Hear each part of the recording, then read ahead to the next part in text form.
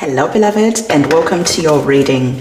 Beloved, let's have a look to see what messages the divine wants you to receive in this timeless reading. I always remind you to invite your intuition to be present as I'm doing your readings because your intuition will start elaborating on the messages you are receiving so that this becomes more like a powerful personal reading. Okay, we have your cards on the table. Let's have a look to see what the opening message is is here, what it has to say to you. So you are opening up the energies of the celestial alignment. So the divine is coming in and saying that there is things that are lining up for you. These are your prayers, these are your blessings, this is the energies that are incoming. So the divine is asking you to stay in that energy of excitement, in that energy of hope because there is something that is on the way for you.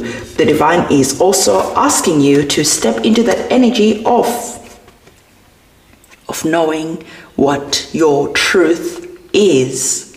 Okay, who are you?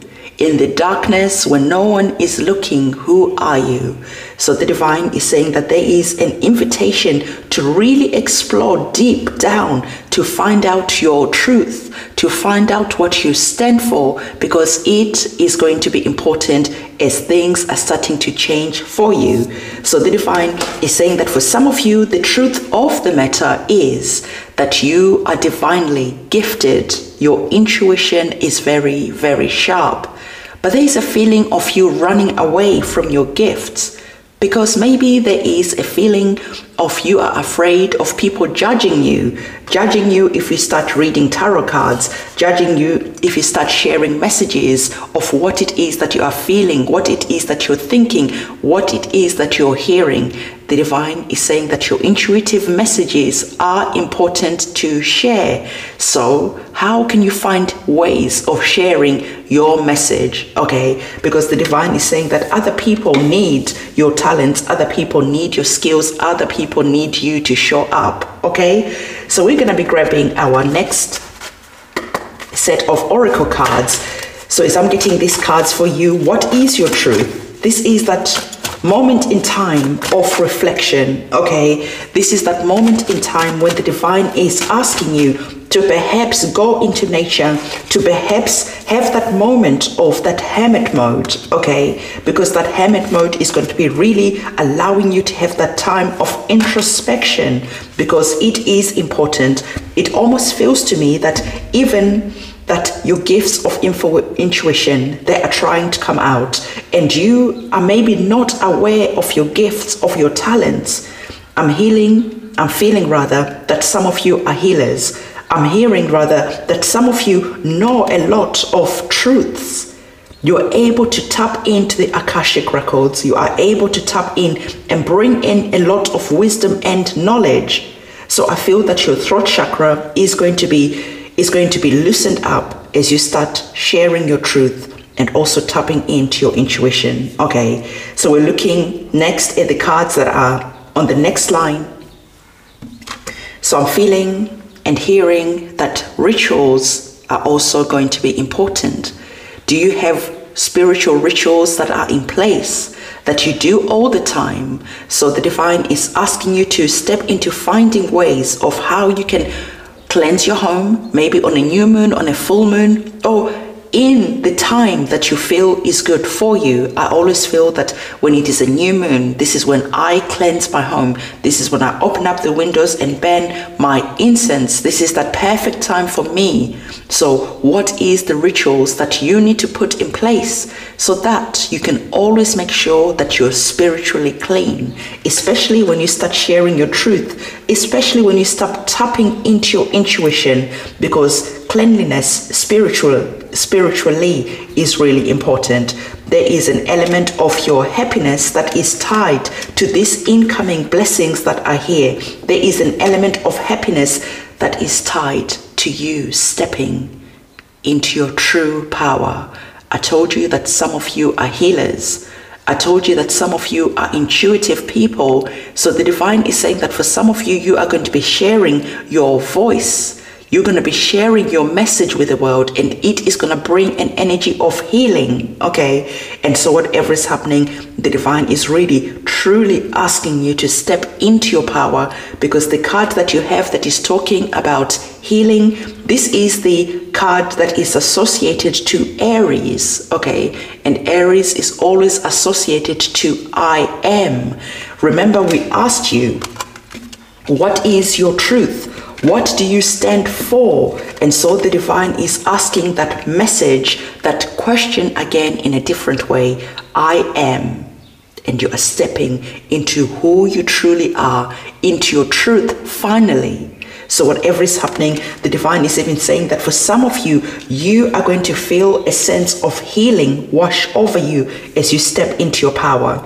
You are going to feel a sense of joy and happiness as you are starting to step into your throne, claiming your divine gifts. And your divine gifts is leading you into the energy where it feels like you are all of a sudden lucky. Okay, so I really like these two cards, the coloring that is there. So the divine is saying that your happiness, your luck is connected to you sharing your truth in whatever form that you choose to. So maybe some of you, are sharing your truth through singing. And this is bringing that energy of healing to other people as they are listening to your voice, as they are listening to your song.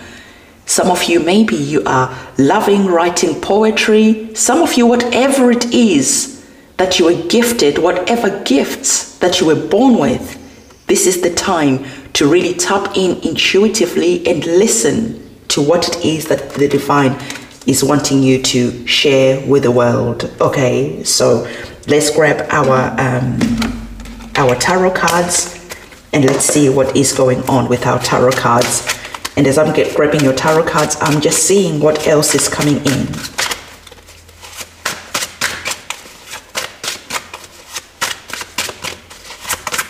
I'm hearing that for some of you, you are being asked to give some food to your ancestors, to do an offering to the Orishas, the angels, the celestial beings that you walk with. There's a calling that is there that they need your attention.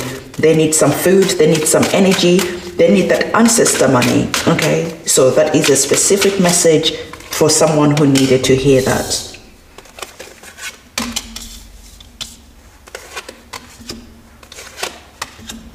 All right. So let's have a look to see what the next cards are talking about. We have all types of energies that are here. We have the energies of the pentacles. We have the energies of the cups. We have the energies of the wands. And if you can hear tapping noise, our um, internet is getting upgraded or something is happening outside. So please just ignore that noise. So as I was talking to you about the energies of giving to your ancestors, there is an energy that is here where your guides, your ancestors are really asking you to open up your hand to give and to share. Okay? Because by giving, by sharing, you are going to be receiving. So, whatever is happening, there is an energy that is here where some of you are being called to even share with animals. Maybe you are adopting a cat Maybe you are feeding other animals that are outside. There is just an energy that I'm being asked to give you about opening up your hand and being kind to animals, to people, to whoever needs you. Okay, there is an energy that is connected to the past, a nostalgic type of energy that is here. So, whatever is happening, the divine is saying that again, this particular message makes sense to someone. We're now stepping into the energies of the Two of Cups. The Two of Cups, we see you here working hand in hand, bringing that energy of love, bringing that energy of companionship, filling someone else's cup, and they are equally filling your cup. So the divine is saying that cooperation, collaboration is going to be important. Remember, we spoke about you sharing your gifts. So there's an energy of someone really needing what it is that you're sharing, but you're understanding that other people are sharing their gifts too. And in them sharing their gifts, they're filling your cup. So the divine is really saying that you have to do your part in these co-creative energies that we we we deal with on a daily basis. You give to other people, other people receive. They fill your cup, you fill their cup in whatever way this is playing out. There's an energy of passion, there's an energy of fire that is here because you are receiving that energy of being brave. There's an energy of like a warrior type of energy. You're receiving the Knight of Wands. The Knight of Wands is really the energy where the divine is asking you to be single mindedly focused on something that is really important to you, something that makes you feel alive, that brings excitement. And the divine is saying that as you're stepping into your power, is you're stepping into your gifts, some of you are going to have to fight the world, your family, someone, because there's an energy of other people maybe wanting to hold you back, maybe being embarrassed with you sharing your true essence, your true being with other people.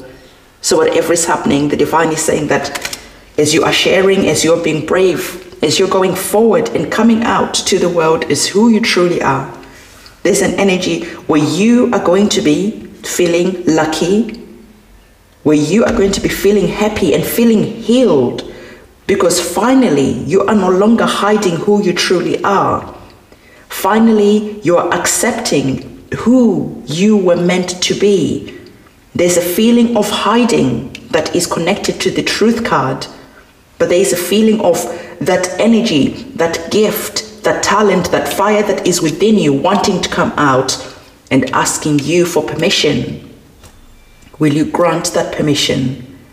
So, whatever is happening, you have the energy of the Six of Wands, which is all about victory, which is all about recognition, which is all about celebrating, being celebrated and celebrating also.